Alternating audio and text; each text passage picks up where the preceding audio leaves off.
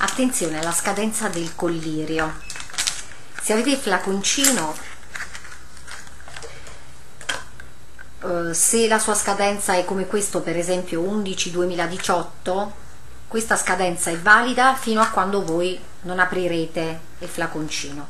Una volta che il flaconcino venga aperto la scadenza è di massimo 28 giorni 30 giorni. Quindi vi consiglio di mettere dietro normalmente c'è la data di apertura in modo che sappiate quando l'avete aperto e controllare di non metterlo oltre eh, la data consentita.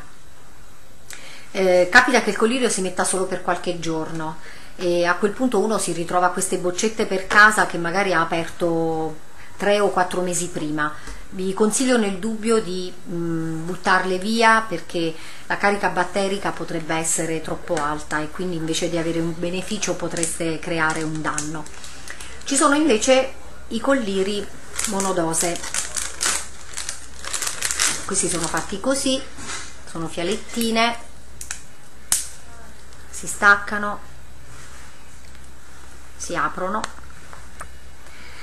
Il contenuto di questa fialetta può essere utilizzato per 12 ore, quindi entro mm, mezza, mezza giornata, poi deve essere buttato via.